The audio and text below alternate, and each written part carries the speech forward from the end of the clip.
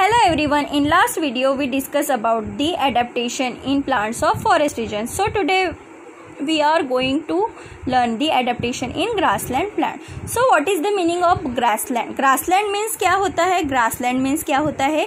एक ऐसी लैंड जिसके ऊपर घास बिछी हुई होती है अगर और पहाड़ी इलाके पहाड़ रहता है जहाँ पहाड़ रहता है और जब हम पहाड़ के नीचे देखते हैं तो वहाँ मैदान दिखता है। वो मैदान के ऊपर जो घास होती है, उन्हें क्या कहते हैं? ग्रासलैंड कहते हैं। Okay diverse types of bushes and grasses are found in the grassland छोटी छोटी झाड़ियाँ और ग्रासेस ग्रासलैंड में पाए जाते हैं।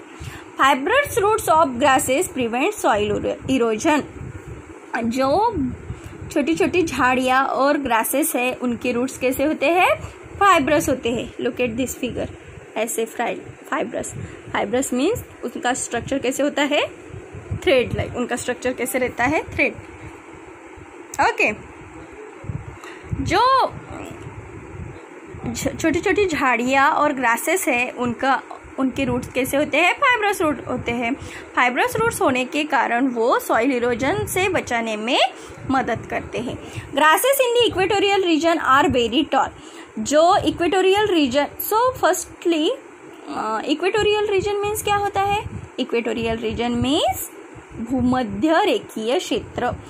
भूमध्य रेखीय क्षेत्र में जो ग्रासेस पाए जाते हैं, वो ऊँचे होते हैं टॉल होते हैं।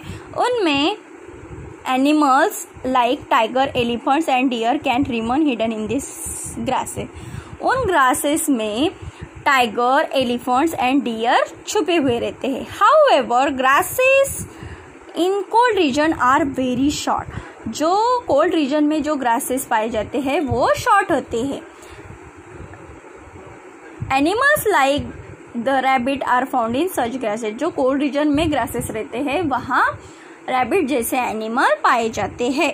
Vast meadows are found in hilly areas as well as plain vast meadows means विशाल घास का मैदान। विशाल घास का मैदान पहाड़ी क्षेत्रों के साथ साथ मैदानी इलाकों में भी पाया जाता है। So this is the adaptation in grassland plant means equatorial region में जो ग्रासेस होती है, वो टॉल होते हैं। वहाँ कौन से एनिमल पाए जाते हैं? टाइगर एलिफेंट एंड डियर पाए जाते हैं।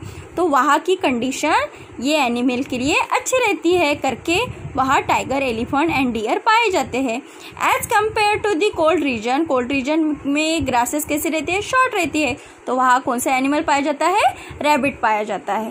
Okay and also the roots of bushes and grasses are fibrous so it prevent soil erosion तो यही क्या है? यही एडेप्टेशन इन ग्रासलैंड प्लांट्स है ओके और आपको observe and discuss observe and note down the adaptation in parts of plants like potato groundnut yam water hyacinth aloe acacia carrot onion beet bitter gourd grapevine etcetera and other plants in your surrounding आपके surroundings में जो potato groundnut जैसे जो